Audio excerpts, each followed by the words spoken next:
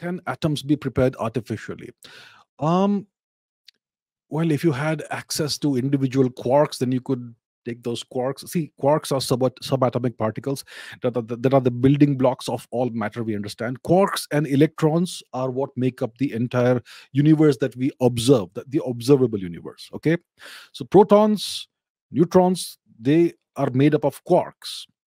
and electrons don't have quarks in them. So you could theoretically take a proton and take a number of electron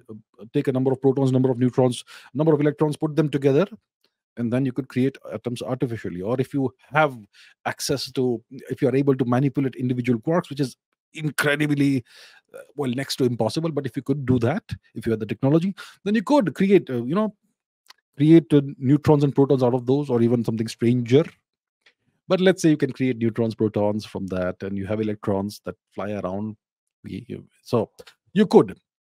theoretically prepare create artificial atom but those atoms would be one of the atoms that we know of one of the elements that we know of in the uh,